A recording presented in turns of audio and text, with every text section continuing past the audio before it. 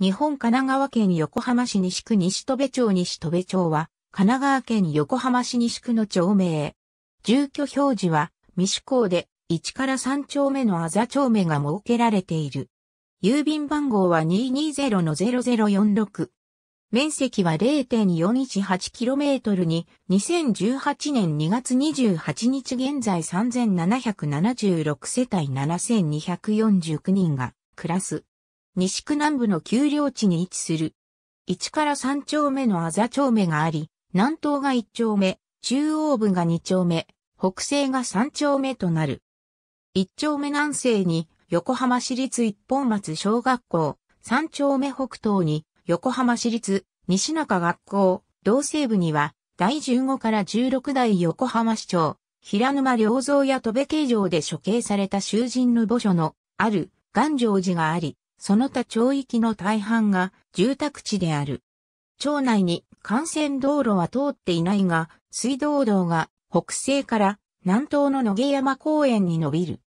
この道は西谷浄水場と野毛山浄水場を結ぶ導水管の上を通り、ほぼ一直線であるが、尻こすり坂などの急坂がある。町の北部、西中学校付近から西区総合庁舎方面に下る坂は、暗闇坂と称する。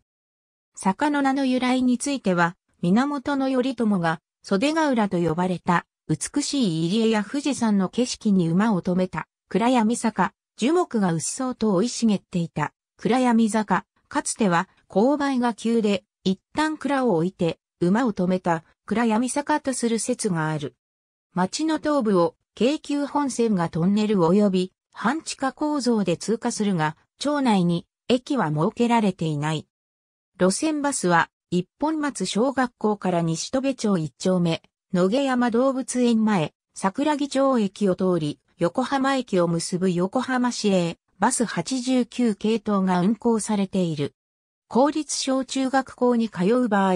学区は以下の通りとなる。2018年2月28日現在の世帯数と人口は以下の通りである。元は倉木郡の府と町あざこ部の一部で、1901年の横浜市市政施行の際に新設された。1927年、区政施行により中区の一部、1944年に中区から西区が分離され、西区の一部となる。町域は昭和時代に数回にわたり変更された。1928年、一部が戸部町、伊勢町、扇、田町、杉山町、浜松町、五所山町、天神町、石崎町、西前町、藤棚町及び、神奈川国市平沼町、平沼町となる。1935年には一部が追松町、藤棚町、五所山町、野毛町、宮川町、日の出町、境の谷となる。1938年には浜松町、大木田町、追松町、境の谷、藤棚町、1966年には、町域の一部が新設された中央一丁目に組み込まれた。暗闇坂近くには、戸部形状があり、鎌倉事件の清水誠治と間宮はじめもここで刑に処された。1902年に、初夏、中林五地区の公園者の海老塚四郎表演による、海老塚防水府、工場、1907年には、横浜種牛株式会社が設立。1911年には、朝、真田製紐機工場が立ち、周辺には製紐関係の工場が多く進出した。浮世絵研究家の小島薄井も、この地に今日構えた。町の中央部にはかつて池があった。雑木林と崖に囲まれた8000平方メートルほどの勾玉状の池で農業用水として使われていた。正式な名称はなく、池の坂の池とも、数々の伝説や噂があったことから、魔の池とも通称された。戸部形状で首を切られた囚人がこの近くを、通り寺に運ばれる際にこの池で血を洗ったと言われ、事故や自殺などで推死する者が後を絶たなかった。